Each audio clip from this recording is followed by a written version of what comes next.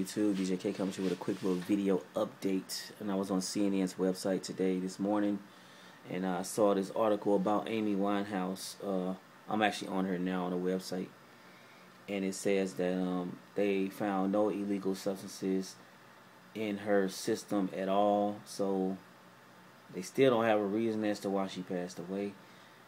Well, you know, it could have been a number of things because no matter how old you are, anybody can have a heart attack. Anybody can have a brain aneurysm. You know, that's about the only two things that can really take you out. You know, if you just at home chilling. You know what I'm saying?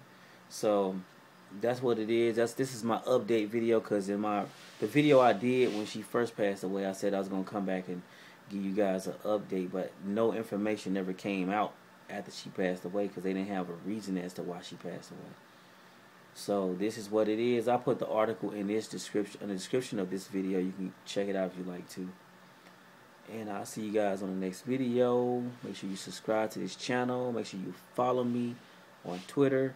That's twitter.com slash hitcreatortv. Facebook.com slash hitcreatormusic. And you can check out my little website at hitcreatormusic.com. And I'll see you guys on the next video. DJ K is out.